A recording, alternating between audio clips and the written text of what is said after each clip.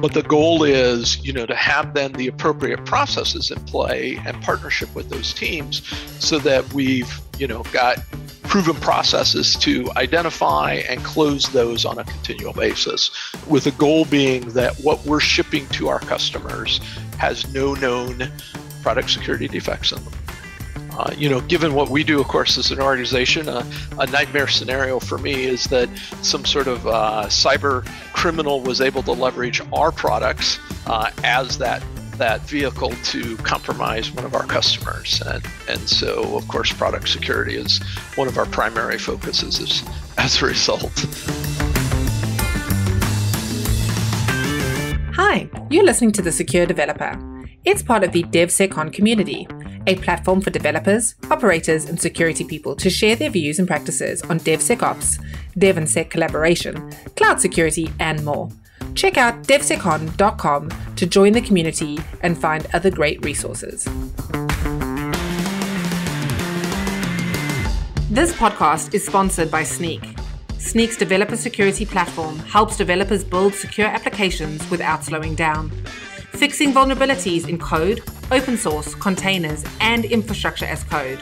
To learn more, visit snyk.io forward slash TSD. That's S N Y K bit.io forward slash TSD. On today's episode, Guy Podjarny, founder of Snyk, talks to Tim Crothers, Chief Security Officer at Mandiant. Tim is a seasoned security leader with over 20 years of experience building and running information security programs, large and complex incident response engagements, and threat and vulnerability assessments. He has a deep experience in cyber threat intelligence, reverse engineering, and computer forensics. He has authored 17 books to date, as well as regularly training and speaking engagements at information security conferences. We hope you enjoyed their conversation and don't forget to leave us a review on iTunes if you enjoyed today's episode. Hello, everyone. Welcome back to the Secure Developer. Thanks for tuning back in. Today, we're going to look at the big picture, you know, and how do we modernize security and sort of, you know, even take a both a, a local or internal look as well as an industry look on modern security and DevSecOps. And to guide us through all of that and uh, get his views on it, we have uh, Tim Crothers, who is SVP and Chief uh, Security Officer at Mandiant. Tim, thanks for coming onto the show. Oh, thanks for having me. So, Tim, before we dig in here and you know talk uh, all things DevSecOps, tell us a little bit about what you do and maybe a bit of the journey that got you sort of into security and and, and through to where you are today. Sure, yeah, absolutely. So I'm old. I've been doing this for a long time. I got into into IT back in mid 80s. Actually, hobby before that even, but college and university in the mid 80s and did what we would now consider infrastructure for better part of a decade and then in 1994 this thing called the internet popped up and you know because i was in infrastructure of course the the first bit of of security was really firewalls which of course are really just routers with rules and uh, it kind of was a a natural progression. And I've been just crazy fortunate to proceed from there and been able to participate kind of in the information security and now cybersecurity, we call it, industry as it as it grew and developed. Over the course of that, worked for lots and lots of different organizations. Also spent some time in law enforcement, and yeah, just been uh, crazy fortunate to get to work with crazy talented people and learn from them and get better. And, I'm curious what uh, what drew you into security in the first place. Do you remember what uh, what caught your attention? I love the protection mission. You know, the the defense. You know, same same thing that drew me to to law enforcement for a while. But the the thing I've come to love over time, even more, I would say, well, that drew me in, is what I love about cybersecurity is we we get to play in everybody's sandboxes, right? Effective cybersecurity is is not just DevSecOps, but it's you know it's network it's infrastructure it's people it's intel it's reverse engineering and you know we could go on and on right and that i think is the fun part is uh, we you know we get to play in uh, literally everybody's sandbox at one point or another very cool and you're uh, you know one of the things that kind of jumps up a bit when you uh, look at your resume is the the few years that you spent in customer success you know within mandiant but i think in your previous iteration in in mandiant I guess it's interesting, you know, Mandiant clearly a security provider. It's not like you left security uh, during that time, but uh, what sparked it, and maybe you know what of it is left of of doing a, a role that wasn't you know in itself securing internally. Yeah, so so that was really effect, effectively a, a, form of consulting role, right? I'm really passionate about helping organizations be successful in their security outcomes, and of course, as you well know, and our audience understands, it's it's complicated, it's it's tricky, and, you know, so my customer success role was really going on site with customers and helping them implement Mandiant solutions, Mandiant's consulting, all of our different capabilities that they were trying to integrate into their essentially operations so that they could come out that other side more successful. And that's fun uh, because you get it such a broad view, right? Every organization is very, very different in many respects lots of similarities, of course. But even down to things like individual organizational culture, of course, ends up having a, a piece apart. And so figuring out, hey, how do we help you mature your threat hunting capabilities? How do we help you mature your operational, you know, your security operational capabilities, what have you? You know, my career has been a, a mix of practitioner and vendor side. And and what I love about both is that ultimately I, I really like the practitioner side the most because it's the hardest and I, I love the challenge because it's not just buying tools and putting things, it's how do you really make this work in that organization despite politics and budgets and all of these other real world things that are a part of a of a business or public organization but the vendor side gives you such a broader view right? Because you're working with so many more companies that gives you less individual depth at those organizations but a really you know helps you get a, a really broad sense of options and approaches and things that companies are doing. And so having both i think is is ultimately where i enjoy. I i, I can't do one or the other too long without uh, flipping back and forth a bit. Yeah, exactly. Yeah. No, but it's great. It's great to have that sort of different perspective, and I'm uh, I'm keen to uh, to tap into some of the learnings, I guess, from uh, from both of those lenses here.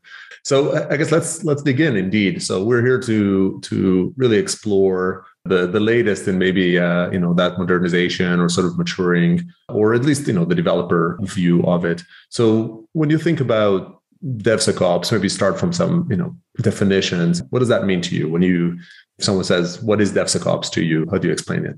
I think it's it's fairly straightforward. It's it's the art of producing uh, functional and secure code. That's pretty short. Uh. yeah, I think you know we can't have one without the other, in my view. Right. The the whole point of developing code is to fulfill some sort of function. Right.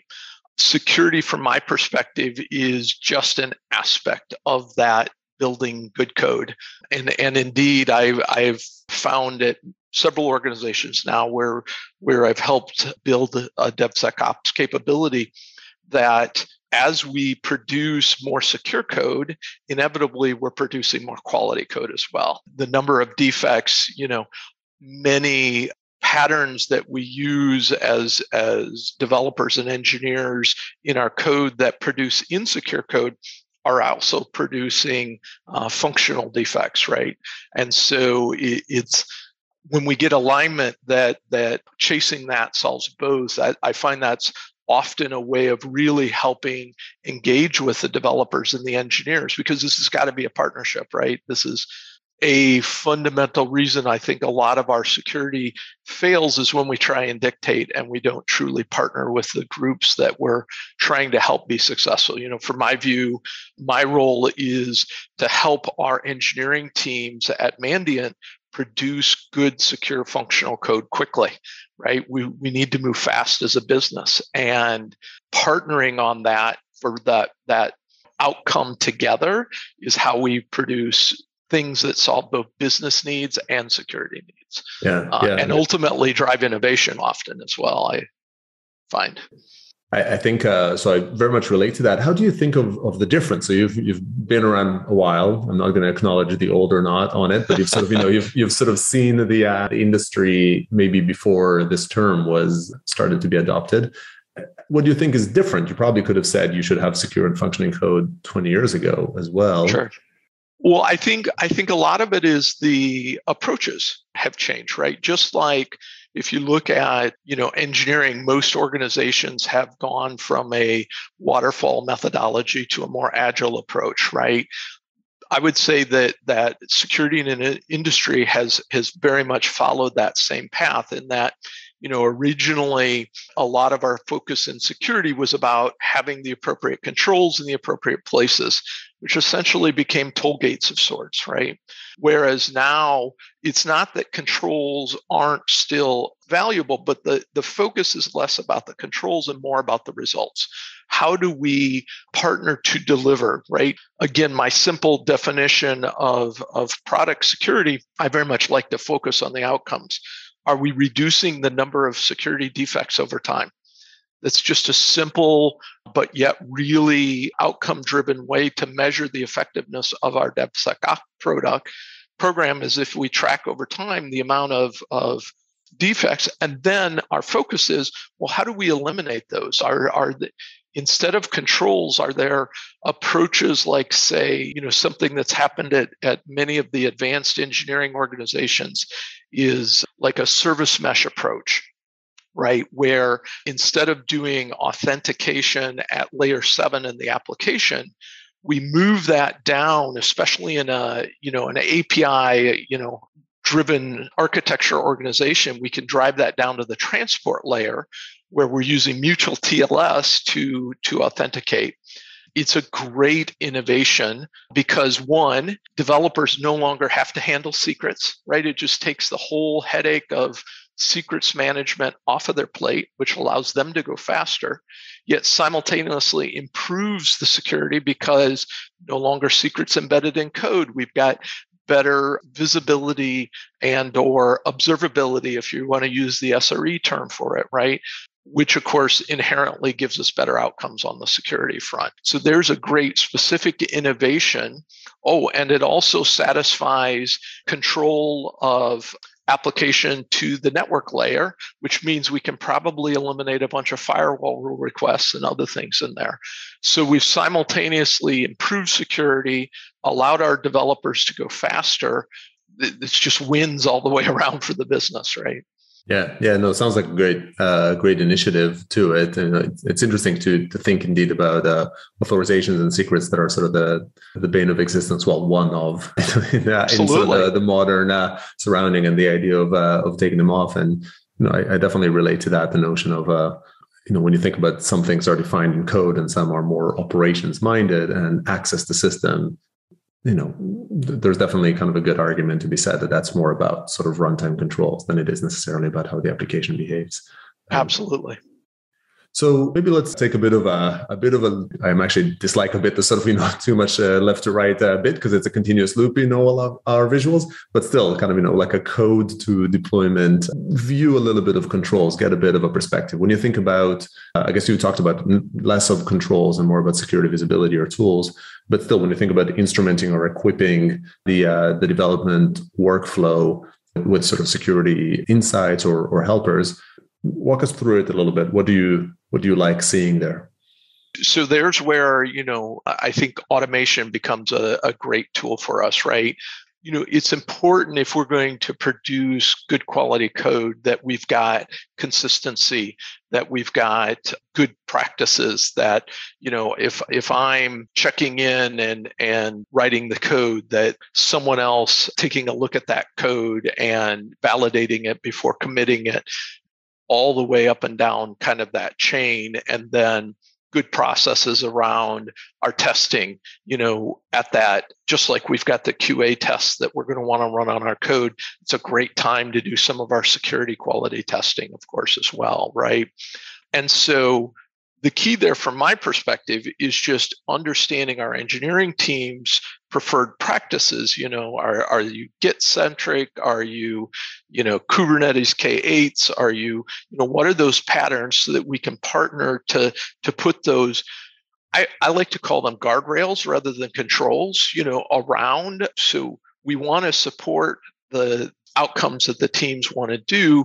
We just need to be able to ensure that the appropriate practices and processes that they've determined are correct and, you know typically we'll collaborate on those right are are being followed consistently.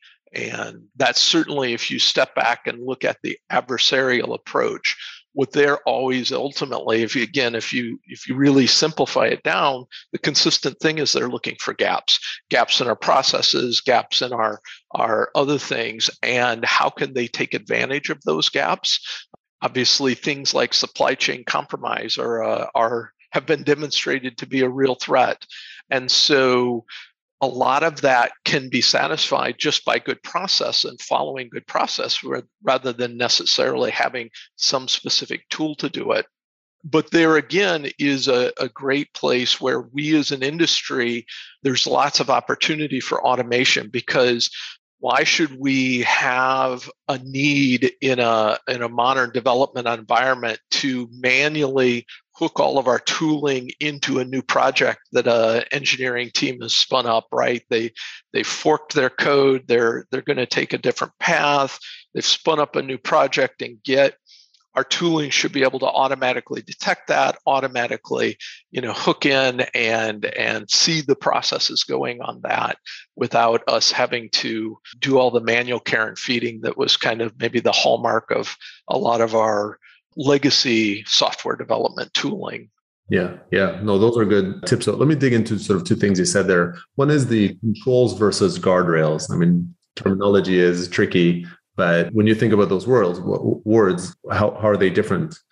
I would say they're different in that when you think of controls, and, and often they are really one and the same. So, of course, as an industry, for a lot of reasons, we do have compliance and regulatory requirements that we as organizations have to uphold depending on what we do, right? Maybe PCI if we accept credit cards, and that's a contractual requirement.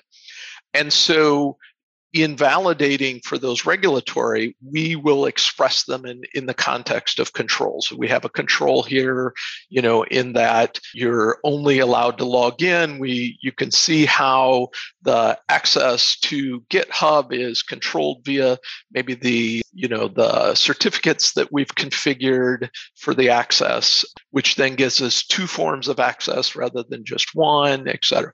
So we'll still often describe them but when I when I work with the engineering teams, I take the approach of calling them guardrails because what we inherently want is flexibility. We want the ability for the engineers to not, you know, maybe to, to use an analogy, so to uh, speak, shoot themselves in the foot and make a, a really bad choice that's going to harm the project or the organization. But similarly, you know, if we've got 10 developers on the team, give them four different approaches and and ways that all work depending on their their personal styles. And so maybe that's just implementing four different types of controls in that that allow but collectively call that a guardrail that hey here's the things that we want to absolutely prohibit but we want you to be you develop in the style that that's best for for yourself and and for your outcomes and and have that flexibility. I think that flexibility is at the heart of what i consider a guardrail versus a, a control. A control is a specific thing that accomplishes a specific outcome yeah, yeah. I mean, I think you know words do matter in communicating that. You know, and, and, the notion of guardrails are are there to help you versus controls that are there to harm you. How often do you allow developers to unilaterally choose to override a guardrail versus not? And when, when, you, when you think about the guardrails you put in place, yeah. You know, how often are they hard versus you know left to development teams to decide? That that's a great one. I would say it, it specifically depends on the specific guardrail. So, for instance, let's take secrets in code, right? Detecting secrets embedded in, in code can be, of course, very tricky.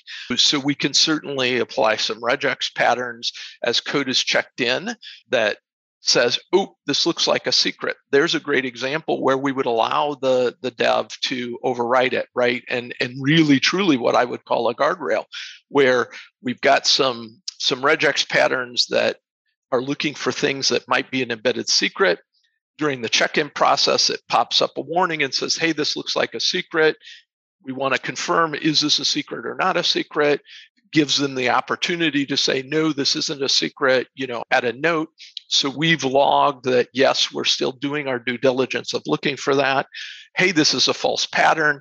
We can then take that, that back so we can continue to tune our regexes.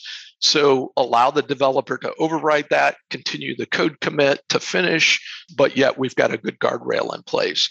Whereas other sorts of guardrails, like perhaps not allowing single factor commits to to Git without there is no override for that one or perhaps another one would be when committing to the production only certain authorized individuals in the engineering team have the ability to perform that activity versus all of the you know actor you know engineers on a on a team per processes so it really comes down to the specifics of which guardrails in place how stringent what the rules associated with the overrides would be yeah, no, very cool, and I think it's probably a good thing to define as well. And it sounds like you're you're using a combination of sort of security requirements like that access and uh, accuracy. I guess sometimes you know all, all, developers and frankly security teams never really love them as well have experienced the notion of having a a, a low accuracy control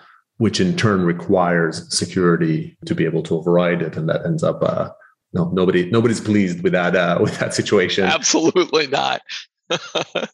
Well and and you're accomplishing nothing right? You know the the thing is you've got you've always got to be stepping back. I don't think this is unique to security and going is this guardrail accomplishing what we intended to accomplish? If we're not doing that that analysis then then we're failing i think in our roles. So Tim, like a lot of what you described right now, I think you know probably have a, a bit of a selection bias here with the listeners, but still a lot of security people you know would would default to nodding their heads and and saying this this makes sense. And yet a lot of security people do not practice that in their day to day you know from from your experience you know in these different lenses what gets in the way? Like why doesn't everybody operate this way? Oh that's a that's a great question. I think it's a combination of things. Often it's expertise thing all of these different disciplines like engineering and development you know in my case i i have a background in it. I've continued to maintain those skills over the years. Having that common communications language with the engineering teams obviously is is indispensable. And so certainly it is not uncommon for a security team to not have any one in the team that has that ability that that background that allows them to understand kind of maybe some of those ramifications. I think similarly sometimes it's simply that you know the need for security has just exploded so fast. You know in my case i am incredibly fortunate. I've i've made a lot of career choices specifically to go work with people that were the best of the best so i could continue to elevate my skills right and so it is very common to have IT security people who just haven't come from that maybe technical background or had that opportunity to work and mentor under folks that are are just incredibly uh, skilled at the profession of security. And and so they have a very maybe an audit focus or you know kind of control focus view.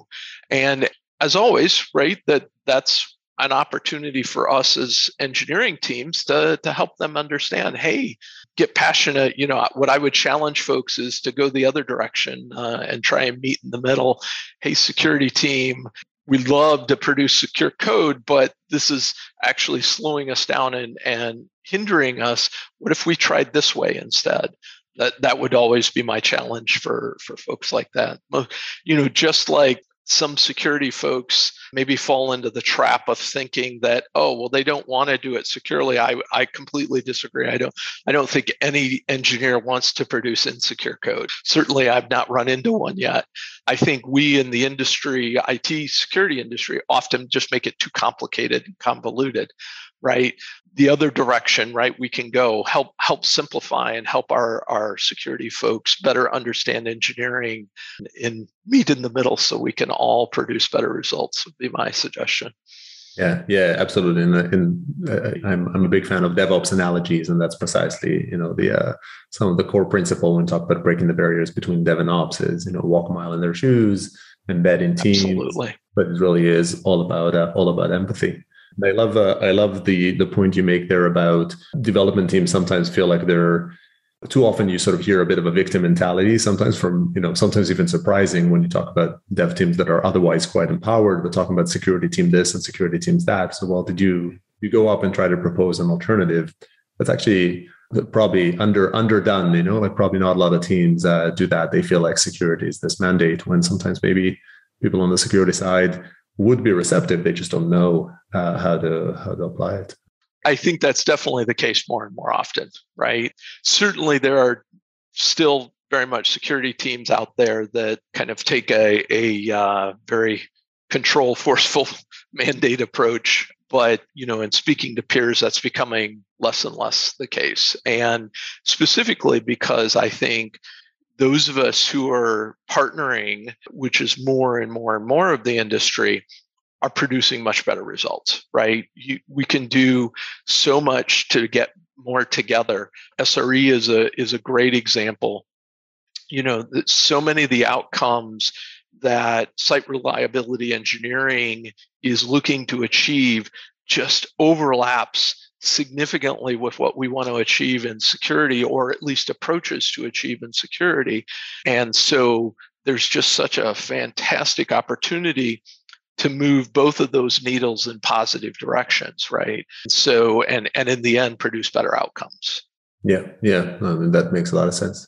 So uh, maybe taking the you know we talked a little bit about the minimum maybe talk a bit about the maximum. So when you think about the split of responsibility between you know development teams and security teams when you think about the optimal setup that you think we sort of strive at what would you say that is right? Like what's the the correct end goal in terms of you know dev security you know security uh, guardrails you know I find yeah, myself yeah, sort of using controls great, i'm typically on the other side of that.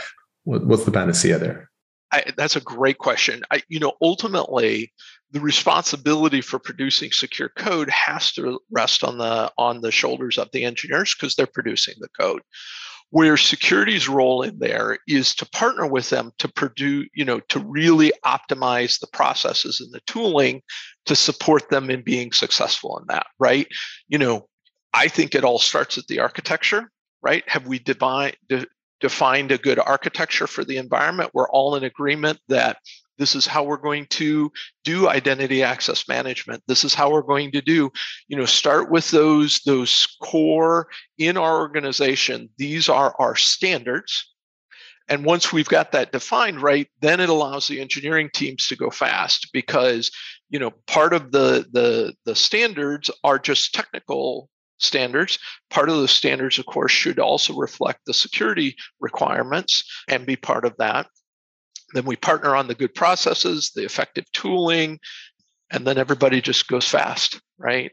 And, and I think there's also a real big component in there where a really good security team is going to be very consultative, right? My product security team does a ton of work on analysis. A lot of the, especially the legacy tooling, if you think about specific security flaws like um, cross-site scripting, right? You know, very easy thing to creep into our code. Often a tool will say, "Oh, you have 500 cross-site scripting problems in your in your code." But when you do the analysis, it's it's four or five maybe lines of code that are actually producing all of those individual cross-site scripting results. And so taking that manual step before we, you know, if we throw 500 issues to the engineering team, that's doing no one any favors. That's not helpful. Uh, if instead, though, we take the time to really trace that back in the security team because we've got the expertise in development that instead we go hey we've got five lines of code that that and by the way this is what this is this is how you rewrite that line of code to, to not have that issue. It's a great opportunity for not just improving the security, but improving our engineering team's ability and, and hopefully, again, drive those number of defects down over time. You know, from my perspective, the number we should be counting is five, they're not 500. If we're going to the engineering teams and saying, hey, there's five five issues we, we'd like you to get resolved in your next sprint, or if we go and say hey you got to fix those 500 and we've not taken that extra step to to help them understand what the real root cause is then then we're not effectively partnering. So that that's what i think that really mature healthy interplay between security and, and engineering teams looks like. Yeah that that sounds like a, a good reality. So i guess when you when you think about hiring for your team uh, and maybe specifically the product security team you know what do you what do you look for? And maybe you know what are some red flags or you know what do we try to avoid you know in, in your quest to uh, to reach that destination?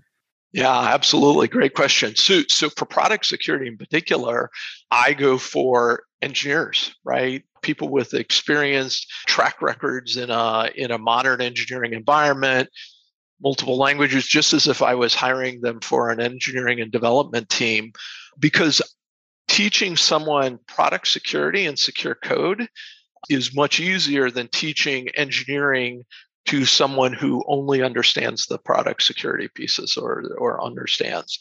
And i find that's the case in most most of the the security in i think modern it security. We have you'll find a lot of folks with with deep engineering backgrounds. Similarly for operations right? How having people that have gotten SRE backgrounds or network backgrounds or that, and then teaching them the security because they're passionate about it and they want to maybe learn and broaden their career. Much better outcomes, I find, uh, consistently going that direction. Yeah, for sure. And I think we earlier on, this was also a great hiring methodology to staff up. Although today, I'd say you know dev scarcity might be you know getting up there to uh, to kind of match the uh, security talent scarcity. So maybe hiring won't quite be uh, quite be as easy. No, but that's definitely a recurring theme around sort of hiring engineers and how it's easier to teach engineers the relevant pieces of security than taking a security person who doesn't know how to code uh, or doesn't understand programming and, and teach them that. So one last question, maybe before I uh, always have this sort of a crystal ball question I, I like to ask at the end. But before we go there, one last question around KPIs. So you you kind of threw out you know a KPI before talking about uh, sort of the backlog. But when you think about your KPI, what are your what are your top three? Right? If you had, I know that security is complicated, but if you if you measure yourself, which actually maybe even practically as you measure yourself or or your boss does, what are sort of the the three top metrics that you use to uh, yeah, absolutely. That's that's actually easy from my perspective. So I I have three specifically that I take to our board of directors. First is what we call containment time. And so that's a measure of from the point at which we have a prevention failure, i.e., one of our preventative controls, and and you know maybe it's uh, the example I like to use is it's Monday morning and the blood level in my caffeine system is too high, and I've clicked on a phish and had malware successfully detonate my laptop that's an example of what I call a prevention failure. And so, of course, the the threat actor, right, the cyber criminal, they've got an intention. You know, maybe they want to, you know, deploy ransomware or whatever their goal is. That's just their foothold. And so at that point, it's a race. And so containment time is all about how do we contain that threat actor before they accomplish their their goal.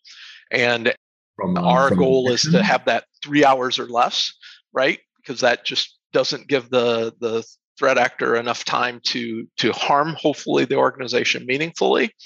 And ultimately what it is is it's a really effective measure of the effectiveness of our detection and response capabilities right?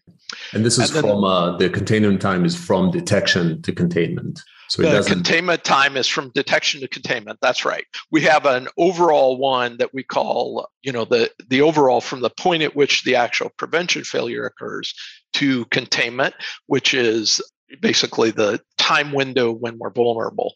But we have to compute that separately, whereas containment time is the, the moment of basically we know we've got a, a problem. Then the second KPI is prevention failures, simply a count of prevention failures.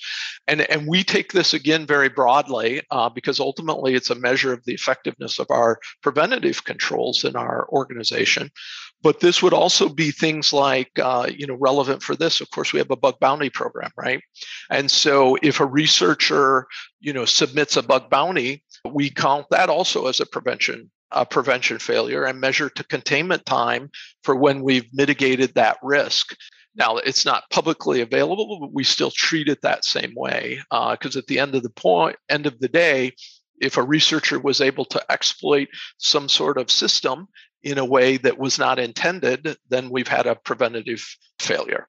And then our, our third KPI would be the one I mentioned earlier, and that's product security defects. And so in that case, what we do is we snap a line at the end of every quarter how many open, high, or critical product security defects do we still have in our, our product? And our, our goal is to be to zero by, you know, uh, for each each because of course that number will, will again fluctuate over time right we we've got some new code development and that introduced some new defects or maybe we ran a, a red team exercise and we identified some some ODAs or some other things. But the goal is, you know, to have then the appropriate processes in play and partnership with those teams so that we've, you know, got proven processes to identify and close those on a continual basis with the goal being that what we're shipping to our customers has no known product security defects in them uh, you know, given what we do, of course, as an organization, uh, a nightmare scenario for me is that some sort of uh, cyber criminal was able to leverage our products uh, as that that vehicle to compromise one of our customers, and and so of course, product security is one of our primary focuses as, as a result. Yeah, no, it makes uh, th- those are uh, are great because they cover like every every gap or every sort of you know hole that I see in those tends to, for the most part, be be addressed a little bit by by the previous one, and many yeah. of them are quite uh, quite um, measurable. The prevention failure is probably the one that is like least measurable because it almost incentivizes you to not know, right? Like prevention failure implies sure. you found a problem, yeah, late, right? You know, so you need to invest. I mean, how do you how do you reconcile that? Right, it's almost like from, no, that's a great KPI. It sort of you know that, incentivizes that, you yeah. to not do any, you know, not do a bug bounty or not do sort of pen testing, right? No, that's a great question. I, you know, the key there is integrity. I think as an industry, I I feel incredibly strongly that us as defenders have to have unassailable integrity. And and you know the, the thing that that I repeat with my team, right, is the number is just a tool to accomplish things, right? It's really more about this is a dashboard, right? At one point in my career, I, I spent uh, time at General Electric, and and for those who are familiar with GE, they're really the home of Lean Six Sigma, right? And and that approach of process optimization is just hugely valuable. And so all of these, right? The, the prevention failures are ultimately useful because one, we want to understand what was the root cause so that we can constantly improve that that prevention control and on an ongoing basis. And, you know, like everything else, just like if we have an operational failure, throwing people under the bus and blaming versus a, a, blameless root cause analysis, right? It's the same thing in security what understand what went wrong how can we fix it et cetera and and again I, I, what i found is that creating that culture where people want to know what all of the preventive failures are so we can go after making things better inevitably leads to innovation you know a fun fact my my last team prior to mandiant my final week there we were awarded our 14th patent in cybersecurity, and and that was a retail organization. So you know these things, if we build our culture correctly, just incentivize innovation out of our folks in that partnership. And I don't know many engineers that don't love to innovate. yeah, I know for sure, and it aligns with the engineers. And I feel like we probably, you know, I, I had that sort of uh, on my list of sort of things to talk about culture, but we're kind of running out of time to sort of really open that up. That we're going to need to kind of get you back here and uh, and and probably spend a whole episode on uh, on the cultural aspects. Oh, I'd love that. I think that's a huge important factor of our success is the cultures we build. Yeah, absolutely. Uh, Tim, tons of great insights here, you know, concrete tips and things that you need to do as well as kind of broad perspective. Thanks for that. Before I, uh, I let you go here, one last question. So if you took out your crystal ball and you thought about someone in your, or you looked at someone at roughly your position in five years' time, what would you say would be most different about their reality? Oh, that's a great question. Five years from now, I think what's interesting about the last five years is the speed and the pace and the complexity has grown logarithmically, I think is probably the appropriate word. And I don't see that stopping anytime soon. I think what probably going to be forced to happen is much more uh, specialization is going to be occurring, right? Um, a lot of our security groups and, and leaders have had to or have been able to uh, be very generalists. And I think the the the role as a uh, security leader is going to continue to evolve to be much more about leadership and focusing on the culture and having really strong really deeply skilled experts leading the various aspects of, of, of, our security programs. And I think that'll be a, a, a fun change.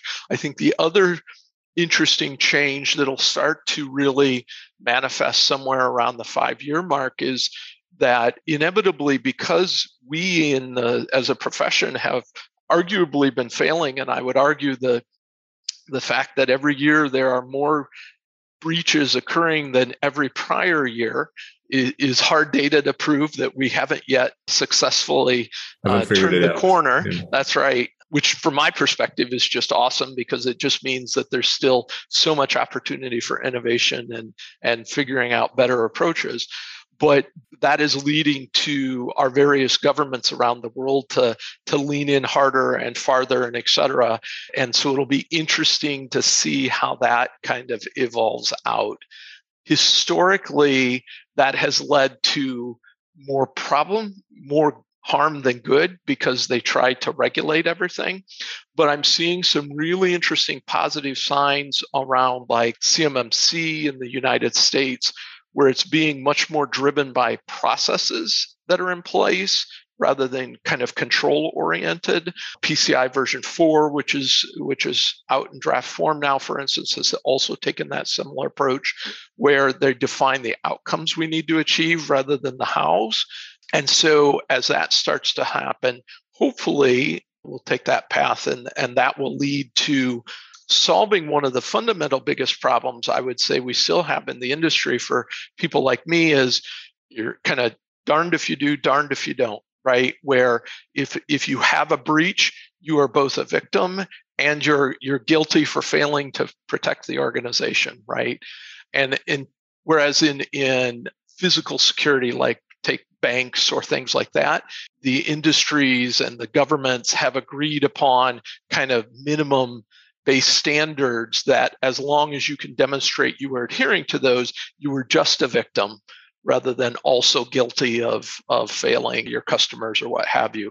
And until we kind of turn that corner in in in an industry, roles like mine are are kind of pro- fraught with danger. But a little bit, some CISO head, you know, role when uh, when there's a breach. Uh, That's right. Happens, yeah, I, I, I, like uh, to say that a, a breach is a resume generating event in in my industry. yeah, I mean, I think uh, so. It's an interesting view. Uh, actually, uh, Geoff Belknap from LinkedIn, you know, shared kind of I think a different, a similar perspective about about the changing legislation, and I think used an example of of how you know, a variety of corruption cases have brought that into finance, you know, and sort of I think it was Enron and, and, sort of others that really introduced all sorts of CFO regulations to what was a bit more loose at the time. Uh, and today we take it for granted, which is that there are SOX and there's all sorts of other sort of regulations that require you to do finance in a, in a certain way. Security is a slightly more creative field, you know, maybe than uh, than finance. But it'll be interesting indeed to see uh, the, with the recent executive order and from Biden and, and a, and a variety of others, see see where that leads. So definitely interesting. I'm curious just on the expertise comment, the first one, what examples kind of jump to mind? So like, you know, what, which expertise aspect? Um, well, I think there's there's lots of areas of expertise. Certainly, the our discussion today is is a good example one, right? If you're leading product security, then you should have a deep understanding in in you software know engineering yeah absolutely software engineering operations you know all of those you know are obviously fields that take years and years to to master right but there's also very specialized things like reverse engineering and and things like that or another great example that a lot of your more mature security teams are focusing on is what is commonly being called now detection engineering how do we build detection capabilities throughout our infrastructure and environments in, in creative ways rather than just maybe deploying network sensors. There's so many more ways to build effective, which has a lot of parallels with observability for the SRE field, for instance. But another example would be it's become a critical skill in the last decade is data analytics and machine learning that is just absolutely even up to the point of data science right is is just incredible capability when embedded in a security team again is just a force multiplier for our outcomes. And things like those low those tooling that we you know mentioned earlier that's that's tons of false positives and stuff right? There's so much more modern ways to go about achieving some of those outcomes uh, if we've got the those depth of capabilities. Yeah, indeed. You know, tapping into innovation. So, yeah, thanks. Thanks for the examples, Tim. We've gone long here, but you know, I think every uh, every moment was a great conversation. Thanks so much for coming onto the show and uh, sharing some wisdom here. Oh, my pleasure. Thanks so much for having me. And thanks everybody for tuning in. And I hope you join us for the next one. Thanks for listening to The Secure Developer. That's all we have time for today. To find additional episodes and full transcriptions, visit thesecuredeveloper.com. If you'd like to be a guest on the show or get involved in the community, find us on Twitter at, at DevSecCon. Don't forget to leave us a review on iTunes if you enjoyed today's episode. Bye for now.